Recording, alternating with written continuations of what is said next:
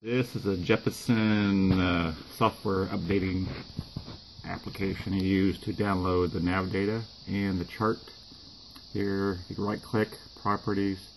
This shows you the effective dates of the cycles. So from there you can start the download and either download it directly to the to a chip, SD chip in a computer, or you can download to the hard drive. In this case, uh, since it's the charts, we're going to download it only to the hard drive. That way, when I go to the plane, I can update the lower right MFD chip with this update. Now the chart data has been successfully downloaded to the hard drive. I'm going to do the nav data.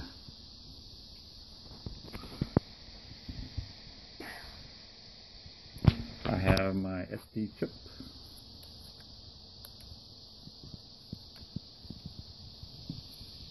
So I'm going to download the data to a blank um, SD chip.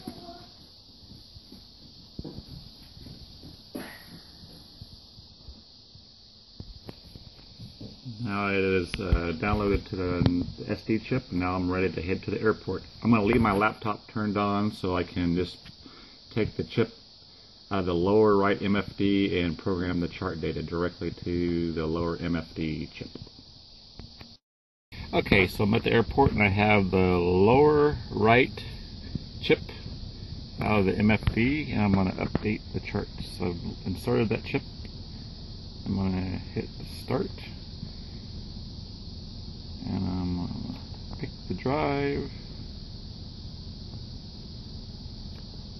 For the chip. And it will program the uh, charts. Okay we are back in the plane. I have the charts downloaded to my lower um, MFD chip. Upper MFD chip is just for data logging. I'll take it out. Go ahead and put the nav data chip have in there. Actually, before I do that, I'm going to do that PFD first. I'm going to put it in the PFD. Turn on back.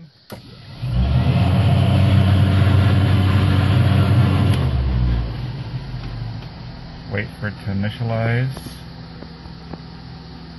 It'll come up and say, do you want to update the database? And you hit Yes.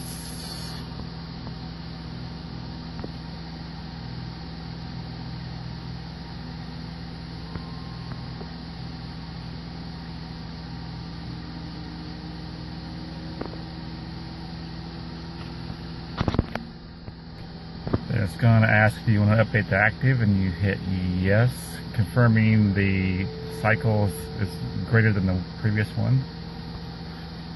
And it will update. pressing the key.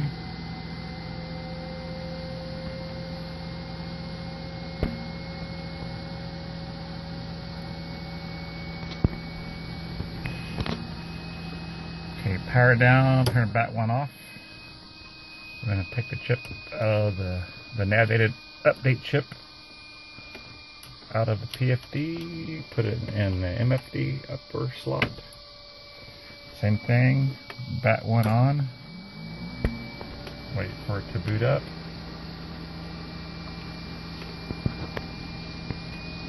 It'll ask if you want to update standby database. Hit yes. It'll update. Once again, do you want to update the actives? Hit yes.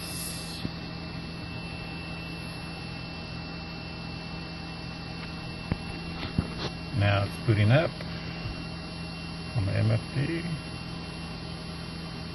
We're going to let it boot up and then we're going to go in and verify that everything was synced up properly.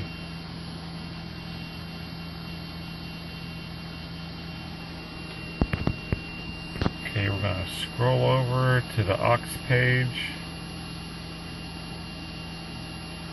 I'm going to go to the aux system status. Hit the enter button. We're going to scroll over here, hit actually hit the MFD database.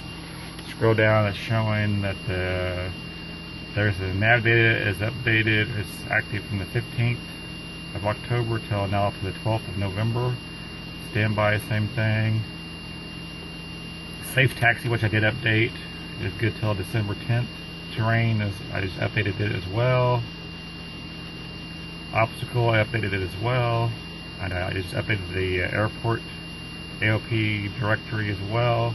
There's our charts, which showing it's um, going to expire on October 26th, which will need to be updated again on the 22nd.